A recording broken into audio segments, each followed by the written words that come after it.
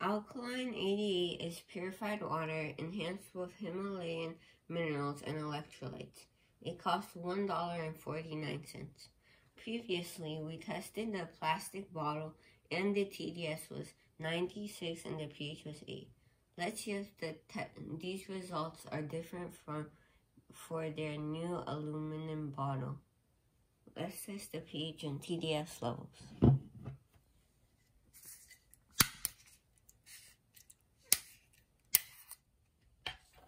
Let's pour some water in.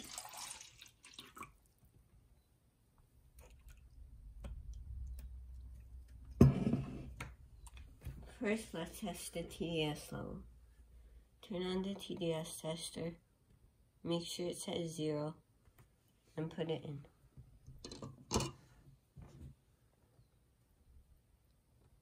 One hundred eleven.